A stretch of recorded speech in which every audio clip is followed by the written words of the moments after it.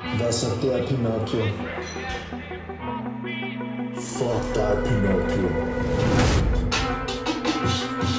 Du satte dig en position som en kærlig person Ved at lave en indsamling på en hel million da du nåede dit mål, var du rigtig følsom for nu kunne du hjælpe dem med psykiske sygdom. Jeg så dig blive interviewet i et tv-program Hvor du fortalte hvorfor du samlede pengene sammen. Du er så klam, tænk at du kan leve med den skam. Men nu er det slut, lille Jax, nu skal sandheden frem.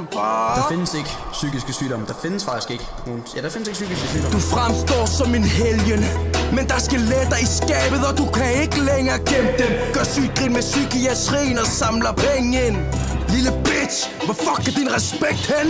Du er ikke andet end en dreng som der gamer Der bruger sine kærester som personlige tjener. De sætter kun stream fordi de elsker når du rager. Og får tudet fjes på når chatten den hater. Nu bliver du sat til skue, så kan du fucking lære det. Hvordan kan du være sådan over for din kæreste? Bruger hende som tjener Men det værste, du gav hende klamydia efter du havde været i Sverige hvor du tog en tur over Øresundsbroen Mødtes med Esta og glemte din kone. Fik tydeligvis knippet hende uden kondom. Det er vist det, som man kalder for et Stockholm-syndrom.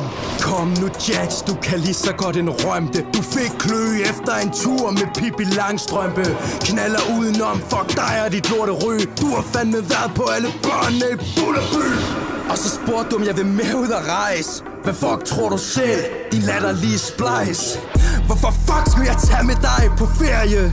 Vi har jo hørt om din rejse til Sverige Jax er uartig, klar på le party Ildepikken fra Esta, ring til en brandbil Helt væk på en natklub med Bacardi Hvor folk så ham stå og med Maria Gelati men vent, var han ikke kæreste med Aya imens? Du nummer der uno til at være utro Har snart et tal på dem alle som en sudoku Hvorfor er der nogen, der gerne vil være kærester med dig Når din er mindre end Phil Laursens hjerneceller?